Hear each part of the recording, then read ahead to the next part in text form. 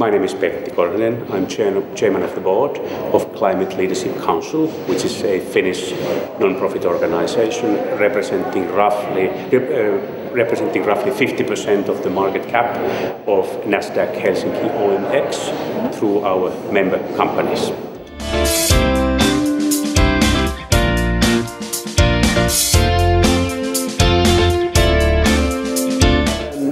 Believe that the change that we have to do to decarbonize the world is so huge that it will touch basically all the sectors of life. We need to decarbonize uh, uh, transportation, we have to decarbonize energy systems, we have to decarbonize uh, housing and the real estate. The list just goes on and on and on. And this means that a lot of new innovations, a lot of new technologies are required, and massive amounts of investments will go into this decarbonization. And we believe that for proactive and innovative companies, this represents a huge business opportunity.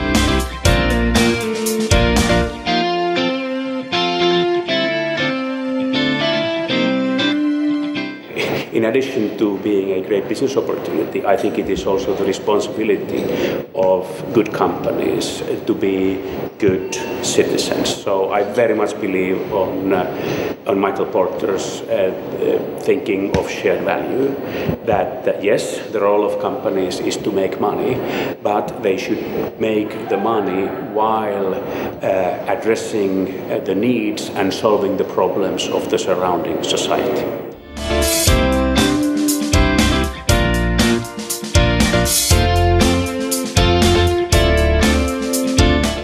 Well, I think we have a very vivid community of companies uh, in sustainable innovation. We have roughly maybe 3,000 companies active in this area. It's become a major source of the exports revenue for Finland. We have leading companies who have invented uh, uh, for example, biofuels or which are decarbonizing the transportation. So we have uh, companies with significant handprint uh, that can help the consumers, the customers, the markets actually to decarbonize uh, their, their businesses.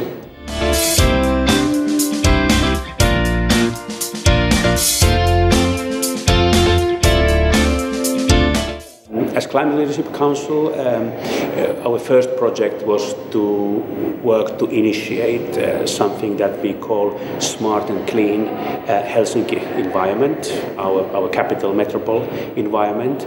So we worked to initiate a project where we could actually use our capital region as a, as a test bed for new innovative solutions for low carbon economy. And our members are contributing to this project in all all basically all fields. And then, of course, we are looking forward to create businesses which can be scaled up and rolled on international basis as solutions to decarbonize.